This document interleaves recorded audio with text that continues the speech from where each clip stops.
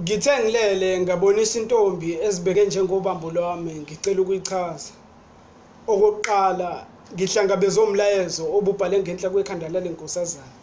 Othi ungabe usabheke emuva naseceleni bheka phambili sizophila kahle sisobabili ngathi ngehlisa amehlo ngayibona ibishanga ebalalayo elikhanyayo.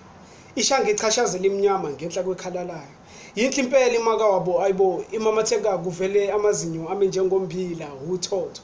Namanje uma ngicabanga ngisha ngesimali somuntu obambilotho ngikhuluma iqiniso lento into eyenzeke ngempela sixunas le ntokazi ibingibuka kancane iqeda ibheke phansi bekuyimina ebengashalazi. Ithi ngiyibeka yonke inhliziyo yami phezu kwesandla sakho uyosihlulekela wena ukuyiphatha ngobuthanda ngizokuthanda ngothando oluphinde kawu-10 uthando olungeke liqiniso ukuthi wena esandleni uphetheni. Uzoqhamuka nonako ngize nenginako sikhiphe konke lokho esingenako esikudingayo. Lalela uma ngabe yakho inhliziyo ingamukela. Ngifuna wazi ngempela ukuthi ngisho ukufa amacabanga ukuthi kuzosihlukanisa kuyobe kuyadlala. Nangalena kwethuna sobe sisathandana kuyoze kulamule kona ukuphela komhlaba. Uma uvuka namuhla vuka uzongibheka ngokuzimisela. Uzongithola le esikhothi endaweni yakahlathkhulu emzini yakosokhela ikhulumo yaqeda yafulathela ngayibona uma ihamba inyathela. Ngayimisa ngathi uxolo igama nesibongo ukhohliwe ukungitshela.